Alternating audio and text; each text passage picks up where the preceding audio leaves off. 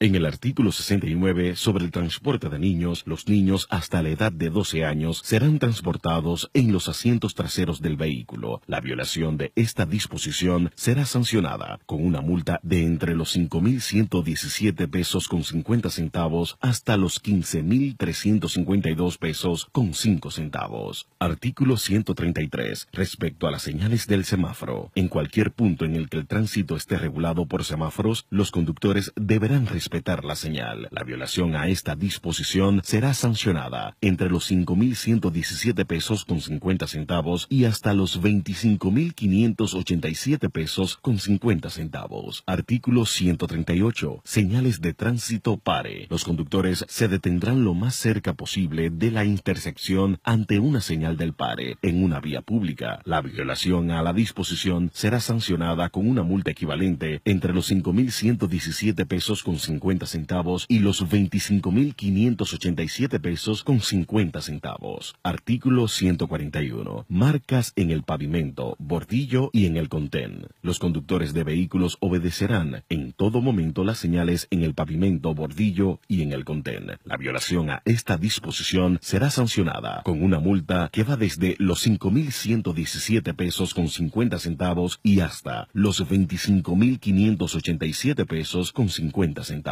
Artículo 210. Violaciones a la autorización para conducir. Conducir un vehículo de motor por las vías públicas sin poseer la licencia de conducir o el permiso de aprendizaje tendrá una multa que va desde los 5.117 pesos con 50 centavos y hasta los 25.587 pesos con 50 centavos. Artículo 220. Conducción temeraria o descuidada. Las personas que conduzcan un vehículo de manera imprudente desafiando o afectando los derechos y la seguridad de otras personas o bienes, se le impondrá una multa que va desde los 10.235 pesos y hasta los 25.587 pesos con 50 centavos. Artículo 221. Distracción durante la conducción. Los conductores que se distraigan por el uso de teléfonos celulares u otros aparatos electrónicos mientras conduzcan, se le impondrá una multa que va desde los 5.117 pesos con 50 centavos y hasta los 15.352 pesos con 50 centavos. Artículo 231. Queda prohibido a los conductores de vehículos de motor conducir un vehículo de motor o transportar pasajeros en un vehículo sin el uso del cinturón de seguridad correspondiente. Los que violen esta disposición se le impondrá una multa de 5.117 pesos con 50 centavos. Artículo 251. Se prohíbe a los ciclistas, los conductores de motocicletas y sus pasajeros transitar sin estar provistos de cascos protectores, chalecos reflectantes, en el caso de las motocicletas y de aditamientos de ropas reflectantes en el caso de los ciclistas. Los que violen esta disposición se le impondrá una multa que va desde 5.117 pesos con 50 centavos y hasta los 15.352 pesos con 50 centavos. En el artículo 256 de la nueva ley de tránsito, prohibición de conducir en estado de embriaguez. Se prohíbe a los conductores de vehículos ingerir bebidas alcohólicas mientras transitan citan por las vías públicas o conducir en estado de embriaguez. Las personas que incurran en esta violación se le impondrá una multa que van desde los 25.587 pesos con 50 centavos y hasta los 51.175 pesos. Estas multas en la nueva ley de tránsito 63-17 tienen como referencia los salarios mínimos que imperan en el sector público de la nación.